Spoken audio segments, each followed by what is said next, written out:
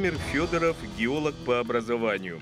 В 1977 году перешел из геологии в средства массовой информации. Работал корреспондентом газет «Молодежь Якутии», «Социалистическая Якутия», редактором журнала «Полярная звезда», главным редактором газеты «Якутия». 2011 года живет и работает в Москве. Был главным редактором общеписательской литературной газеты. Создал совместно с Академией духовности Республики Саха-Якутия электронный литературный журнал «Литера», главным редактором которого является в настоящее время. Сколько мы с тобой соратники, сподвижники, и э, нас сближает прежде всего театр, поэтому будем разговаривать на этой передаче на «ты». Я посмотрел твою биографию и поразился к тому, что я, оказывается, не знал многого. Разные награды, литературные премии разные. Начиная от Пушкинской, да, и завершая там немыслимое количество разных премий, разных значит, э, достижений, там, и триумф, и большая литературная премия, и журналистская, и писательская. Э, назвать карьерой это тоже как-то странно, да? особенно когда я на тебя смотрю, э, и у меня не возникает мысли о том, что вот карьера, или вот как ты в эти дни говоришь, обрушилась на тебя слава, так уж больно тебя как-то как бы перед своим, перед своим взглядом поднимает так. Ты какой есть, такой, какой был лет 30-40 тому назад, как тебя видел, такой и остался. Такой, простым русским парнем. Так, да? Да. Геологом, кстати. Геологом, да. да. Геологом. И вот, э, но тем не менее, у меня вот вопрос такой. Вот, э, вот сегодня ты народный писатель, э, тебя, может быть, и читающие Якутия знает, а Якутия очень читающая, значит, очень огромное количество э, жителей Якутии, России, Москвы, да и в мировом таком пространстве литературном тебя знает. Э, не тяготит тебя это обрушение славы на тебя? Ну, мне вот это, этот вариант э, славы как раз не тяготит. Почему? Потому что это произошло в моей родной республике, в Якутии. И мне очень приятно вот, получить это звание и, и эту славу на себе ощутить. Ну, я думаю, эта э, волна будет не слишком долгой, да, и она и не должна быть долгой. Надо как-то в свое время, значит, из, это, из, из нее выходить, да, успокоиться, успокоиться, да. А, потому что вот э, были какие-то, да, награды, какие-то были э, всероссийские награды.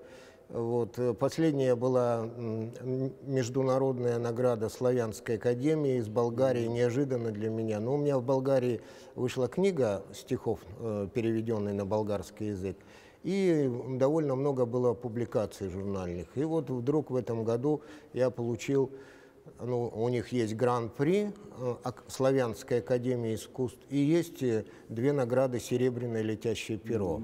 И вот, э, ну, я получил, ну, и как-то, может быть, через день и забыл об этом, да.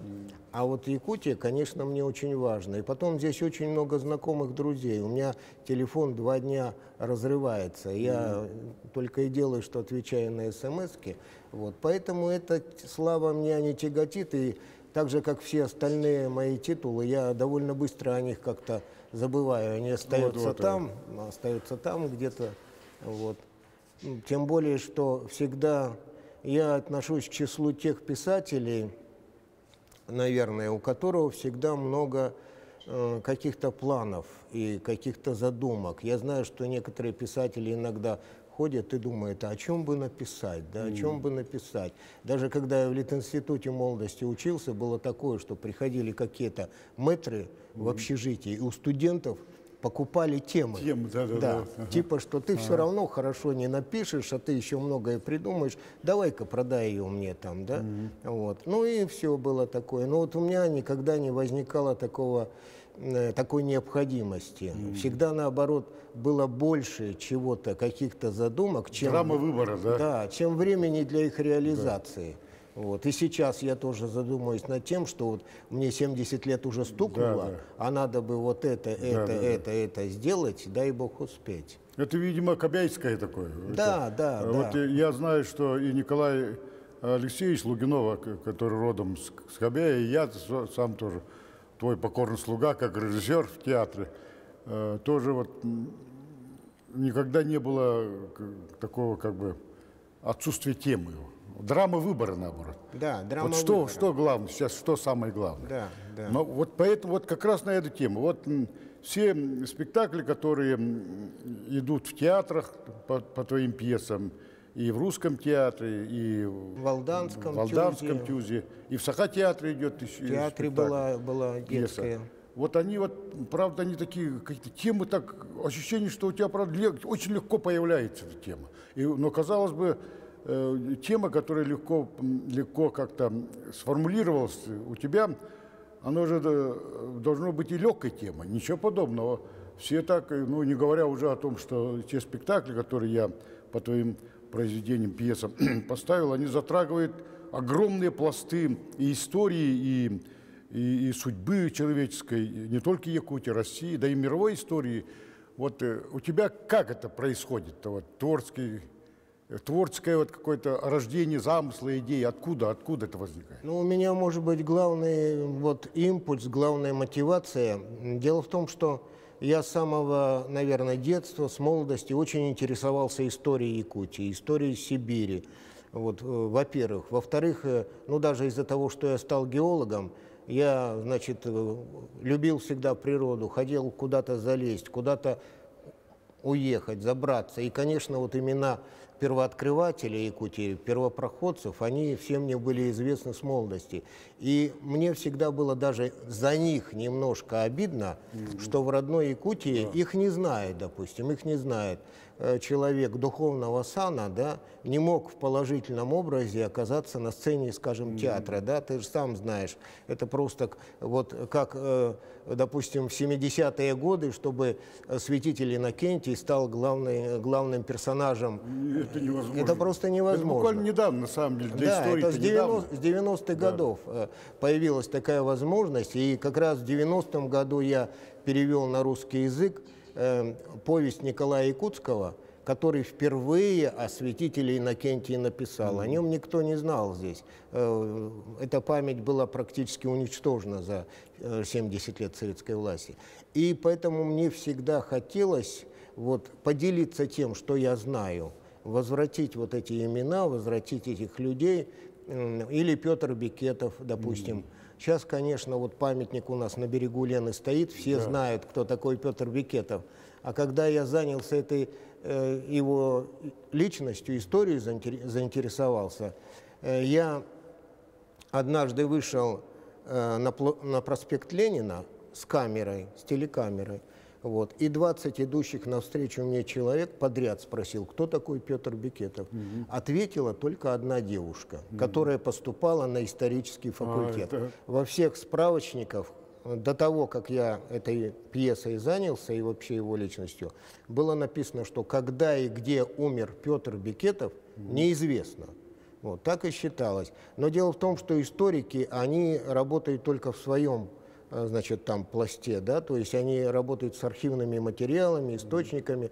Но если бы они прочитали протопопа Авакума, книгу, да, его житие, да, да, да. то там в конце он пишет, значит, а еще в душе моей горе большое есть. Угу. По, по, понеже повинен я в смерти Петра Бекетова. И кается, как он, значит, этого Петра Бекетова довел до приступа сердечного да, да. и фактически убил. Вот. И, и таким образом а я, ну, известно, когда Авакум был сослан, э, значит, в Сибирь, да, когда он уехал, и там два года всего интервал. И таким образом я вычислил, -то, вычислил что Петр Бекетов умер в 1656 году. Mm-hmm. И потом историки в нескольких публикациях стали на меня ссылаться, ага, да, на да. писателя. Ага. Вот. Поэтому вот, э, наверное, вот из-за вот этой информации, из-за этих знаний или из-за из этих интересов, которые у меня э, сложились, mm-hmm. вот эти импульсы возникали. Вот, вот, вот ты как драматург, как, как писатель мне трудно судить, не так уж много я твоих произведений читал, хотя читаю я, как я всегда говорю, Чукча значит, не писатель, Чукча не читатель, Чукча постановщик про себя, да. тогда, ну, известное да. Э, такое. Но вот по, драматур... по драматургии ты попадаешь, вот эм, э, темы, которые ты поднимаешь, они, они на стыке времен.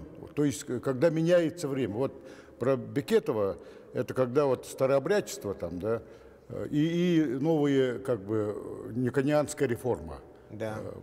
в православном христианстве. Вот этот конфликт, который возник у тебя там, ты вот этот фоном происходит, и Авакум там, и Бекетов там. Ну и во-вторых, вот э, э, попытка соединения Якутии с Россией, Вот с тоже Россией, это да, да. переломный Да, вот это, этот это момент. всегда как бы две цивилизации, две культуры Да. встречаются. Вот и, и, э, и, значит, созвездие Марии также, когда становление Российской империи, еще Российская империя еще не оформилась границы, не говоря уже и два берега одной победы, где, значит, судьба судьба страны решалась, судьба Родины решалась. Ну и вот последнее произведение, вот буквально вот в эти дни э, премьера состоялась, это когда, значит, э, тоже вот на самом деле, казалось бы, продолжение этой темы тогда, но э, если не будет запасной аэродром, не будет построен, то погибнут летчики, погибнет э, боевая единица. То есть на стыке вот всегда. Вот в драматургическом плане меня всегда вот этот момент очень как бы подводит э, к решению спектакля. Какие тектонические сдвиги происходят, которые могли быть интересны для театра? Ты этот последний спектакль вспомнил, да? Э, Тут, конечно, не, не только мое желание было показать вот эту ситуацию, да, э- эм, эти обстоятельства, но еще и каким-то образом предостеречь. Ты еще и очень интересуешься археологией, да? Так получается твой. Геология, археология, ну не говоря уже архив, в архивах, в которых ты работаешь. И, ну и, и дальше оттуда про- происходит произведение, людьми общаешься с, с разными людьми. Э, И, и вот я до сих пор, для меня вот как мурашка сразу, начинаю говорить мурашка. Вот когда ты рассказал о туфельках, э, в, с- в туфельках Марии Прончичевой, Э, вот, э, вот для меня спектакль от туфелек начался. Да, Не от пьесы. Поскольку я помню и ради пьесу Козловского, и саму пьесу прочитал, но пока не, ну вот туфельки меня как-то очень тронули тогда. А откуда у тебя возникла вот эта тема? Вот что вот главное было для начала, импульс какой был, да? Импульс был, э, ну, во-первых, я был геолог, да, вот, и мне повезло, что я на дипломной практике был на побережье моря Лаптевых, на самом побережье, мы Святой Нос, Новосибирские острова, Ляховские острова, мы искали там золото, это был 74 год. Вот. И я вот оказался погружен в эту атмосферу Арктики. Причем, эм, ну, там работа какая? У меня рабочие, я, э, значит, э, техник-геолог, да, как студент.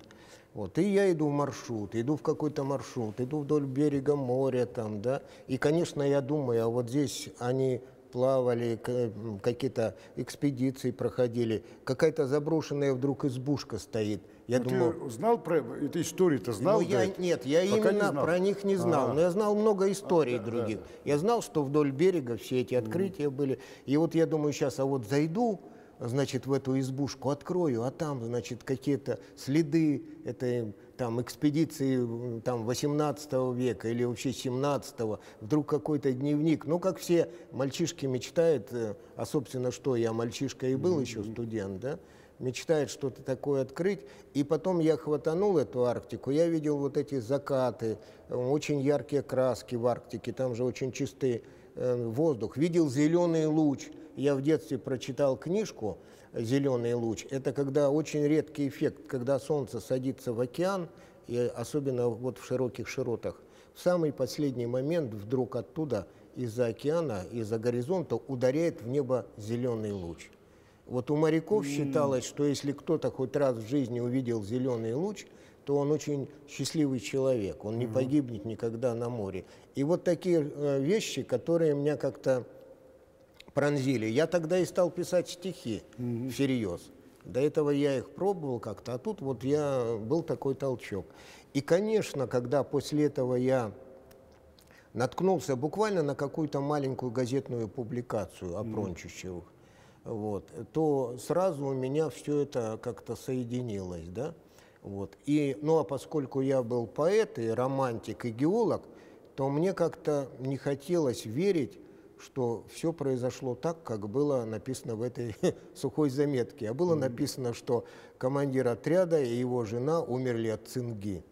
Вот. И вообще, была ли его жена, э, значит, э, ну, какой-то европейской женщиной, да, ага. скорее всего, он женился либо в Якутске, угу. либо вообще женился в устье реки Оленек, где они зимовали, да, потому что там местные промышленники жили, ну, какая-то типа чуть ли не походно-полевая жена у него возникла, mm-hmm. да, вот.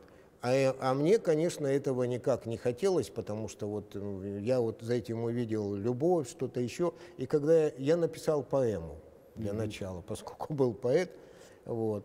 И э, эту поэму, значит, каким-то образом прочитал э, Валерий Яковлевич Келли-Пели. Да главный режиссер русского театра. И вдруг раздается у меня звонок, а я еще там корреспондент молодежки, никто, вчерашний геолог, который вдруг, поругавшись со всей родней, ушел работать в молодежку, да? Поругавшись почему? Потому что геолог считалась престижная да, профессия, зарплата в два раза больше. А тут, а тут несчастный репортер, да, там, да. значит, будешь бегать с, блокнотиком, да? Ну, в общем, произошел такой конфликт, но я ушел все-таки. И тут раздается звонок, э, значит, Келли Пели, и он говорит, зайди-ка в театр. Ну вот я зашел в театр, и, и до сих пор там нахожусь. Вот как раз с подачи твоего коллеги, я, он говорит, поэма это хорошо, но напиши-ка ты пьесу, чтобы мы поставили.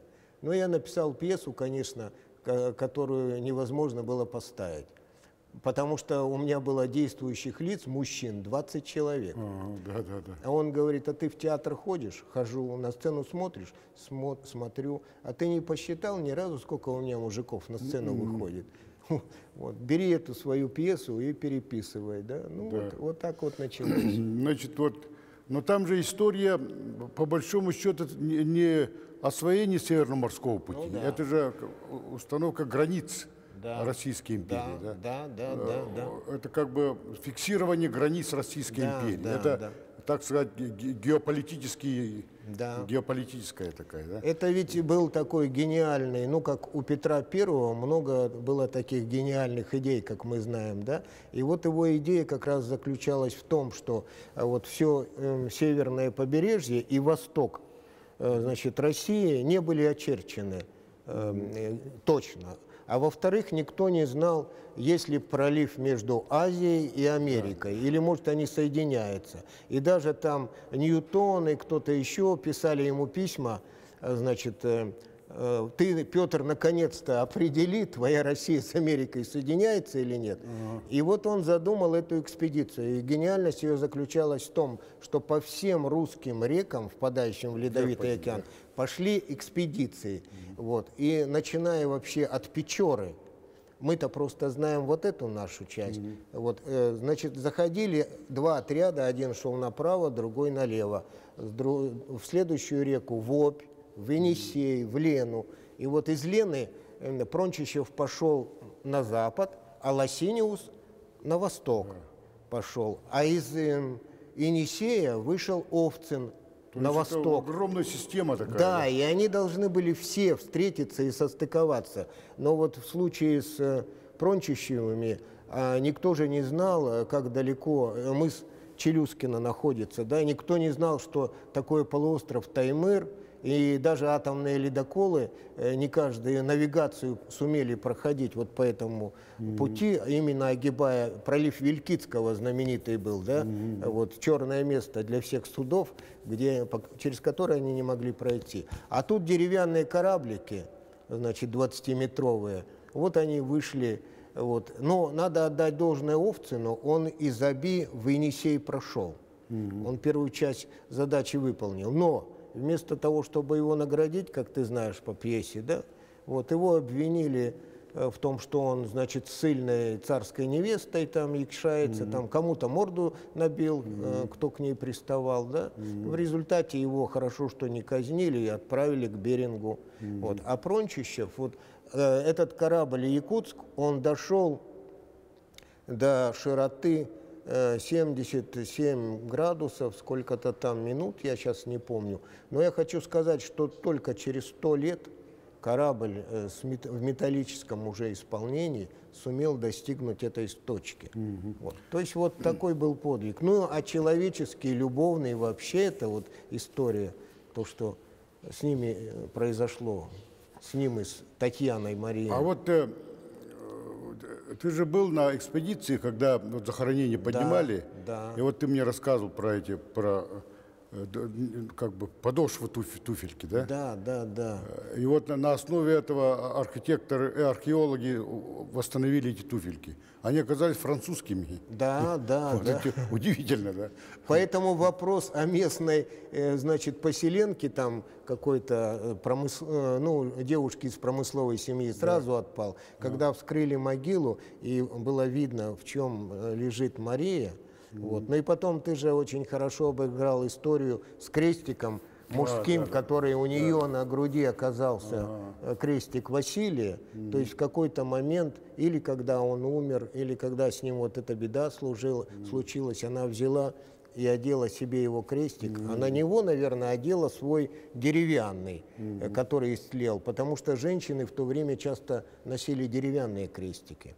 А вот этот мужской, и он сейчас, я его подержал тогда на ладони, у меня фотография есть, подержал эти туфельки. И тогда, конечно, меня прошибло. У тебя всегда персонажи очень сильные, большие, не просто не маленькие. Даже маленькие персонажи вот в последней пьесе, они очень такие все, история стоит за каждым. так. Отец мой говорит мне так, вот брат мой закончил археологи- археологию МГУ, на отлично все сдал, и там случилось несчастье, он утонул в реке.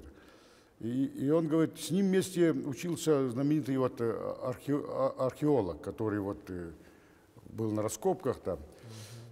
И он ему пишет письмо о том, что вот... мол, Старков. Старков, да, пишет письмо, мол, э, вот э, хотел бы услышать воспоминания о своем брате там, да. Вместе вы учились в МГУ там. Но я с этим письмом еле нашел Старкова этого, значит, э, захожу в этот э, архе- институт археологии, и он вдруг выходит, смотрит на меня и вдруг говорит, говорит, вы похожи на своего дяди, говорит. Плечи, говорит, похожи. Представляешь, вот интересный вот заметил, да, не, лицо-то у меня другое все-таки, у меня разной кровью, а вот плечи, говорит, похожи. говорит. И вот минутку, говорит, молодой человек, и тут же уходит э, куда-то вглубь кабинета, а- открывает сейф и оттуда завернутый в газету, в такую газету такую, что-то достает, разворачивает, а там туфельки. Туфельки. И вот, вот, говорит, туфельки Мари. Он не знает, что я буду э, писать там, э, то есть э, Ставить. ставить сп- спектакль на эту тему. Он не знает, мы с ним не общались тогда. И мне показывают это. Вот тут у меня мурашки, и, и- и для меня этот, ну, если не сразу, то сразу возникает первый импульс такой. Вот интересные моменты. Ну да, может вот это как раз судьба, которая заставила этот круг замкнуться. Сначала вот меня в него ткнула, да, а потом и тебя привела, и Да, вот я слышал э, по раска- я знаю, что ты очень много пишешь про шаманов, про, про удаганок, там, там такие мистические истории. Э, У тебя, значит, э, посвящены целые книги там, да, исследуй, исследуешь это дело. И вот э, в твоей ты жизни такой момент какой-то был мистический. Вообще надо, наверное, к, к моему Тастумусу вернуться и к детству. Да? Так получилось, что, конечно, там до того, как появились мои родители, они появились, когда возник рыбзавод. Возник рыбзавод, люди жили, но там никогда не было официального э, статуса у этого села. Просто на лето приезжали на рыбалку, уезжали. А тут вот э, решили уже все, рыбзавод создали и поселок Тастумус. Надо, Тастумус, да. Да, Тастумус. Вот. И надо, значит, э, создать там сельсовет. Вот. И, значит, решение было принято, но оно немножко зависло, а тут родился я. Я родился, вот, и сельсовета пока нет, но ехать куда-то все равно там меня регистрировать, да, значит, дождемся. Ну и целый год ждали. Через год появился сельсовет, сельсовет выдал мне свидетельство о рождении номер один жителя поселка Тостомус, да. Вот. Но вот это что касается мистики, почему я об этом говорю? Потому что я в детстве очень часто видел та, такой сон, как будто я убегаю по тайге, значит, бегу через тайгу, и за мной гонится медведь. За мной гонится медведь. Потом я забегаю на какое-то старинное кладбище и э, пробегаю через него, а медведь э, проваливается, прыгает на одну из могил, могила проваливается, и он там остается, а я убегаю. Я ложусь следующую ночь спать, я уже немножко боюсь, да. Я сейчас опять окажусь там, медведь вылезет оттуда, да, и да и это кладбище само по себе страшное, вот, и еще и погонится. И потом вдруг я через какое-то время э, встречаюсь, э, у нас был такой э, Сидоров, э, значит, ученый в университете, который занимался вот, шаманизмом в том числе и, и венкийским, вот, и венским тоже. И я читаю его книжку, и он пишет, что в детстве он часто видел сон, когда за ним гнался медведь. Вот. И, и, и дальше он это все там интерпретирует и говорит, а вообще по значит, э, э, канонам эвенкийских верований это одна из форм шаманской инициации, когда вот за мальчишкой начинает гоняться медведь. Вот. Ну и я тогда пошел, нашел его в университете, все, и с ним поговорили, он говорит, ну вот если бы этот медведь типа догнал тебя, да, и схватил, ты бы должен был стать шаманом.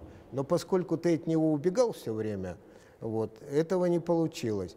Но я так подумал, конечно, я был пионер, родители коммунисты там, да, какой из меня э, шаман там, да, да еще русский. Но, видимо, я подумал, почему за мной медведь гонялся? Может, потому что я был первым ребенком, э, который вот здесь э, как-то официально появился, и, может, вот, ну, как бы, если верить в эту мистику, может быть, какие-то духи, а Тацтумус – это, несомненно, очень сакральное место. Вот Астумуса. Да, это каменный мыс, это в реку Лену выдается такой мыс, и видно сразу, что это такая страте- стратегическая точка. Вот. И эти как бы духи, может быть, они ждали, пока там появится какой-то как, э, мальчик там, да, чтобы они т- таким образом. Предрасположенный. к- Да, но я от этого убежал.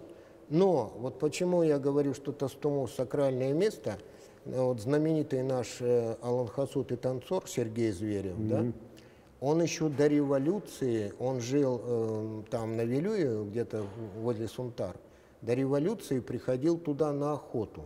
А там же как раз Вилюй впадает и Лунха в Лену. И вот здесь Тастумус между ними находится. Он приходил туда на охоту. Далеко, значит, но он, говорит, молодой, ноги были крепкие. Вот. И вот он оказался в Тастумусе. Какая-то у него там очень хорошая ему добыча досталась, э, лося или кого-то убил. И он говорит, когда вечером я сел, то начало твориться неш- нечто необычное, говорит. Ну, как он говорит, там вообще разверглись, открылись небеса, какие-то там голоса шаманов зазвучали, и сверху полилась песня. А у него у него были свои э, способы записи музыки, да? Вот. Он же неграмотный был человек. Он подбежал к дереву, затесал дерево и на дереве вы- вырезал вот эту мелодию. И потом в последние годы жизни он очень мечтал вернуться в Тостумус и попытаться найти вот это дерево. Да? Он говорил, что слова песни я могу восстановить, а та мелодия, это была, как он говорит, это была лучшая песня моей жизни. Ой, как потрясающе. Понимаешь? Вот я- Поэтому вот Тостумус вот такое место. Вот я, вот, я- вот, вот опять вот ты поднял такую мощную тему. Эм, если про Зверева там, то это уже, уже, уже вот там кроется и драма, и мистика, и, и тема мощная такая. А началась, видишь, Возвращение. да. гражданская война Да, началась, ага. потом отечественная война, то есть они ему мешали. И он, и он, когда умирал, перед смертью он говорил. А потом, видишь, я подумал, что когда строили Тостумус, э, деревья выпилили, и это дерево спилили. Вот. А кто его знает, может быть, в стену нашего дома это дерево попало, понимаешь? Если уж дальше фантазировать, идти по пути мистики. Может быть, да, Ну, понимаешь? вот э, я знаю, что ты сейчас очень много думаешь об арктическом векторе. Ну, не, первую пьесу, которую име- Да. имел, даже я вспоминаю, как тот момент, когда в Москве, все же, почти два спектакля, даже три спектакля по твоим э, произведениям, по пьесам, по драматургии твоей, они э, примеры всегда где-то в другом месте, не в русском театре. Да. Это в Костином дворе, этот знаменитый этот ну, лестница да. Петровского периода. Да, да, И там я до сих пор вспоминаю тебя, вижу тебя, когда мы вечером, завтра утром играем, э, на огромной выставке, на огромной площадке, ничего, ничем не, не поддержано театральным план, ни света, ни, ни, да, да. ни сцены, ни зрительного зала. И, и когда ничего нет, я помню, ты с Клименом же пришел, да? Да, с Клименом пришел, сели на какую-то ступеньку и так грустно-грустно смотрели на пустое пространство. Да. Я к тебе подошел и что-то спросил, и ты был в очень удрученном состоянии. Да. А на завтра, когда все это произошло, ты был очень вдохновленном, возвышенном состоянии.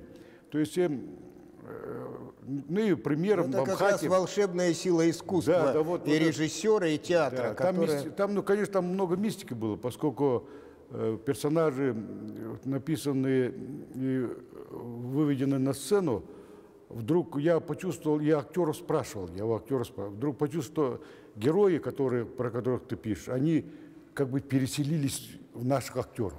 Я, это вот, иногда бывает такое вот.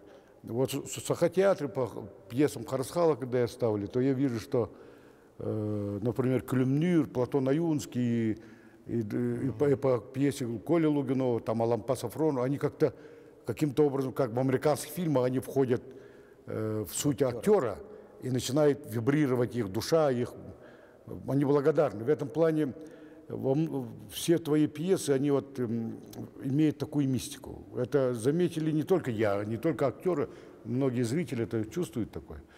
Вот, поэтому я вот север, северная тема, Арктика тогда. Вот что для тебя сейчас Арктика? А, а, арктический вектор разворачивания России, да и мировом плане. Вот что для тебя Арктика?